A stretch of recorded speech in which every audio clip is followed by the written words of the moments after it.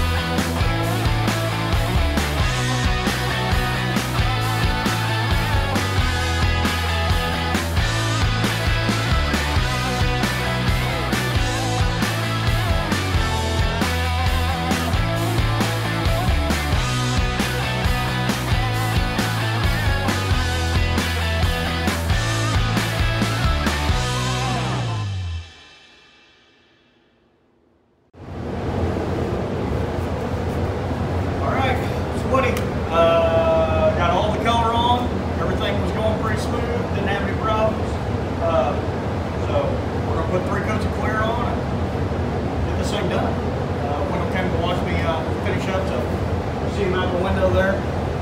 Uh, here we go.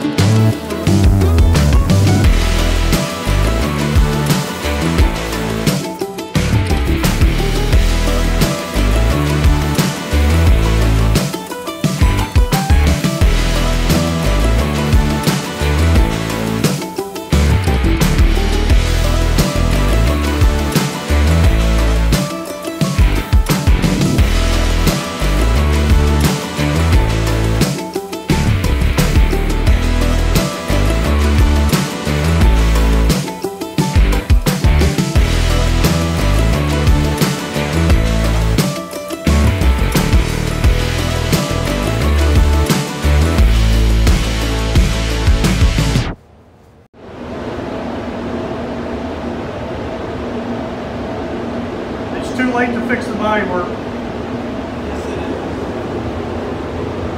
Well, the finished product. Other than my sweating and dripping on the fender right here, got a couple chunks of dirt in it, but uh, I haven't seen where anything's messed up. Like Wyndell did a pretty good job on the body work.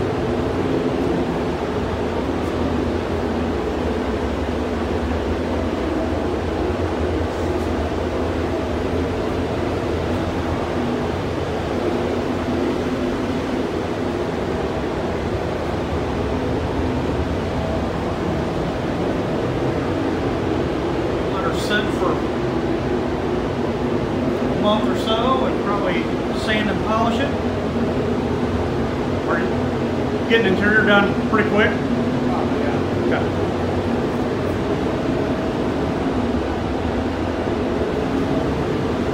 All right.